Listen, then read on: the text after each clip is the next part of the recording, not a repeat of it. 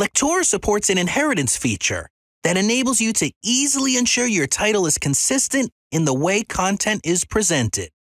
Objects you add to the title level are automatically inherited by all pages within the title. This makes it easy for you to add header and footer objects, company logos, and basic navigation that should appear throughout the title. When you use a theme for your title, all of the theme components are placed at this title level. Similarly, objects you add to a chapter are automatically added to all pages within the chapter, and objects you add to a section are automatically inherited by all pages within the section. Objects you add to a page, however, are only visible on that page.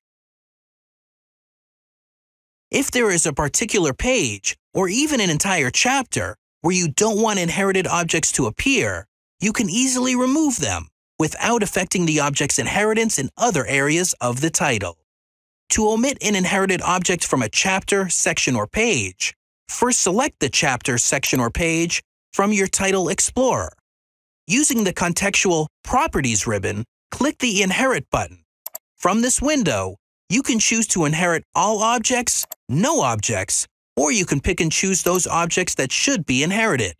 With Lectora, you don't have to worry about copying and pasting objects that you want to appear throughout your title. Take advantage of the inheritance feature and let Lectora do the work for you.